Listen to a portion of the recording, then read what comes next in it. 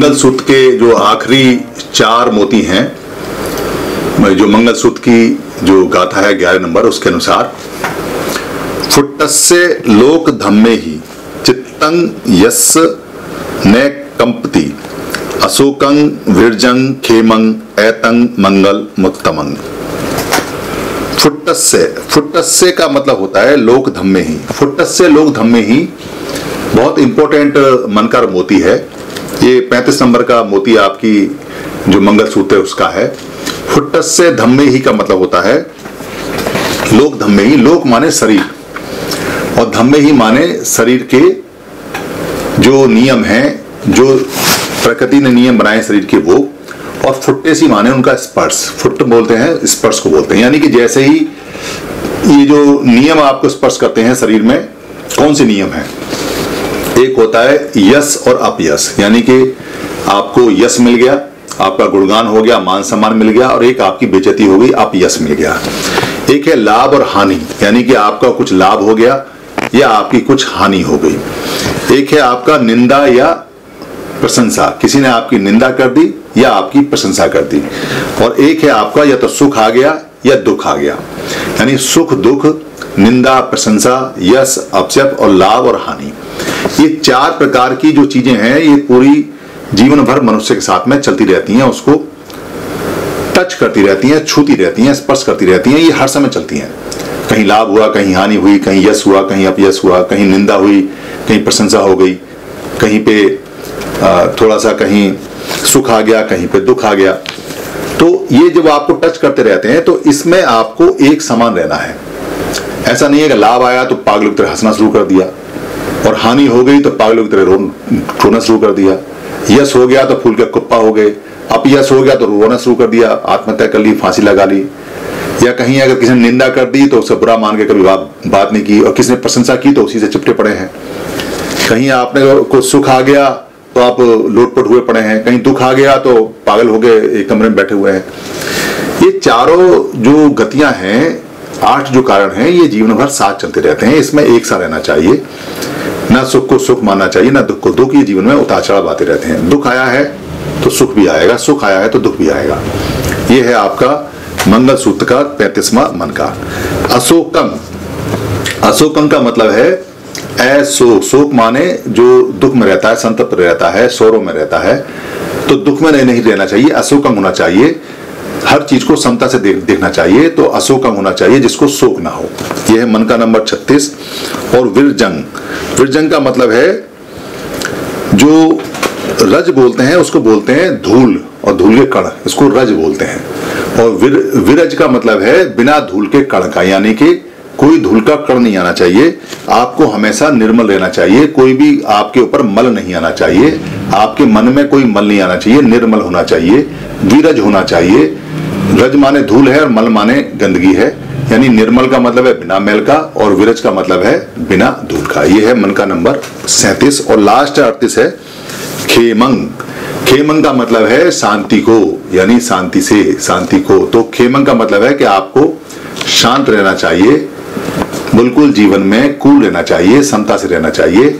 ये अड़तीस बातें जो जीवन में उतार लेगा, जो जीवन में धारण कर लेगा, जो जीवन में अपना लेगा, उसका हमेशा लाभ होगा, जो कि इस सूत्र में कहा है, जो मंगल मुत्तमंग का बारवा सूत्र है। ऐता दिशानी कतवान, ऐता दिशानी कतवान का मतलब है, ऐसे इस दिशा में जो करेगा, सबत्तम पराजिता, वो सब तरफ़ से, सर्वत से अपराजित रहेगा, यानी उसको कोई पराजित नहीं कर सकता, चारों तरफ़ से अपराजित रहेगा।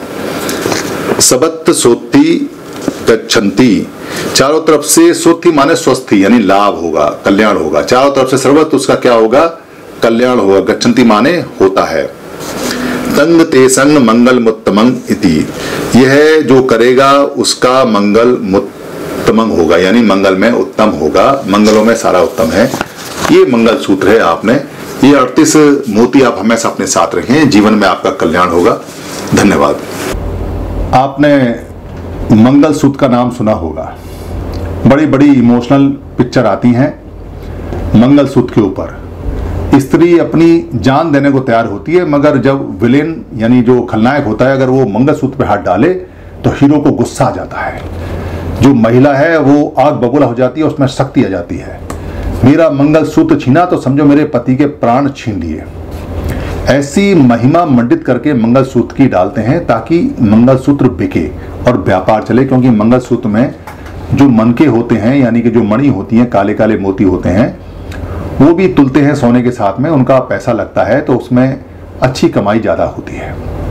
मंगलसूत्र बेसिकली एक गले में पहनने का ऐसा एक आभूषण है, एक ऐसा विभूषण है जिसमें काले मन के लगे होते हैं और ट्रेडिशनली तो पीला धागा होना चाहिए, अभी सोने में भी वो आता है।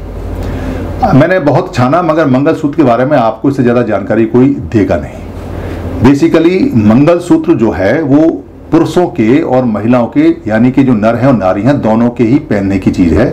बच्चे भी पहन सकते हैं, बूढ़े भी पहन सकते हैं, सभी पहन सकते हैं। क्योंकि मंगलसूत्र बहुत कमाल की चीज़ है, उसको पहनना चाहिए।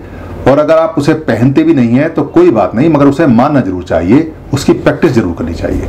अगर मंगलसूत्र को आप मानते नहीं है, प्रैक्टिस नहीं करते तो सच में आपकी जान को खतरा रहता है, चाहे आप नर हैं या नारी हैं, या बच्चे हैं या पुरुष हैं, या कोई भी आप हैं।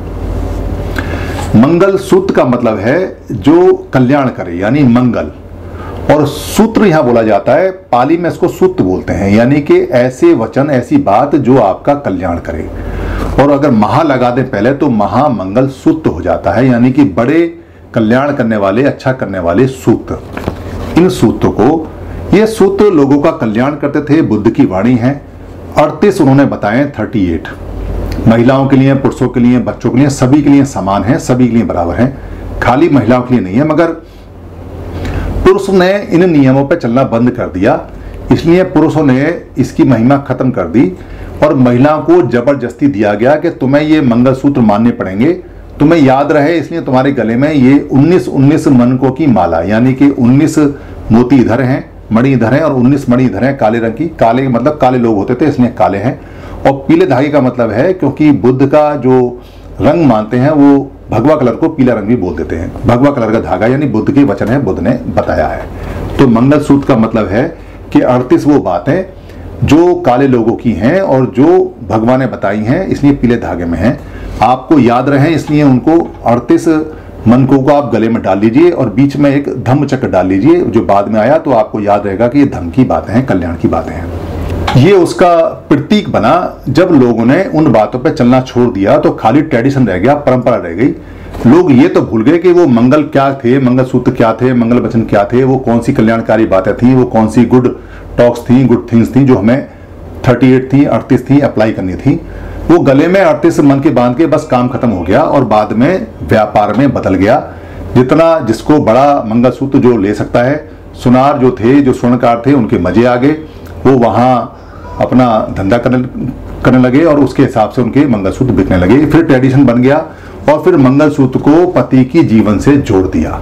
बेसिकली तो पति अगर उन पे चलेगा तो उसका जीवन बचेगा। पति अगर नहीं चलेगा तो पति का जीवन खतरे में रहेगा। ऐसे ही अगर स्त्री उन अड़तीस सूत्रों को मानेगी, अड़तीस बातों को मानेगी तो उसका जीवन कल्याणकारी रहेगा, वरना तो डामाडोल रहेगा, खत्म सा रहेगा, चाहे वो सांस ले लेते रहे या जीवित रहे। तो वो जो मंगल सूत्र हैं या महामंगल सूत्र हैं, वो सारे मंगल सूत्र भगवान बुद्ध ने बताए हैं। आप सभी से ये निवेदन है कि अगर आपको ये वीडियो अच्छी लगती है या बाकी वीडियो अच्छी लगी हैं, और आपको लगता है कि धर्म की वीडियो किसी को और मिलनी चाहिए या किसी को गिफ्ट में भेजनी चाहिए या किसी भाषा में कन्वर्ट करके आगे बढ़ानी चाहिए या प्रिंट में, किताब में छापनी चाहिए या इसकी जो ऑडियो है उसे निकाल के भेजना चाहिए या इसका किसी पार्ट को इस्तेमाल करना चाहिए तो आपको लिबर्टी है, आपको छूट है। ये सभी कॉपीराइट फ्री हैं।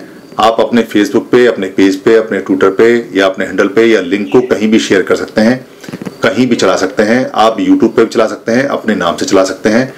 इसके लिए इजाज़त लेने की या परमिशन ले, लेने की बिल्कुल भी ज़रूरत नहीं है। आप इसको अपना मान के चलाएँ, क्योंकि धम्म सबका है। हम जो बताते हैं, वो भगवान बुद्ध का है या महापुरुषों का है। उन्हीं की बात को सरल भाषा में बताते हैं। हमारा सिर्फ़ इतना राइट है इस पर कि हम इसको लोड कर देते हैं। बाकी सारी ये पूंजी आपकी है। धन्यवाद। नमो भगवतो सम सम्मासम्बुद्धस नमो स भगवतो अर्हतु सम सम्बुदशा स भगवतो अर्हतु सम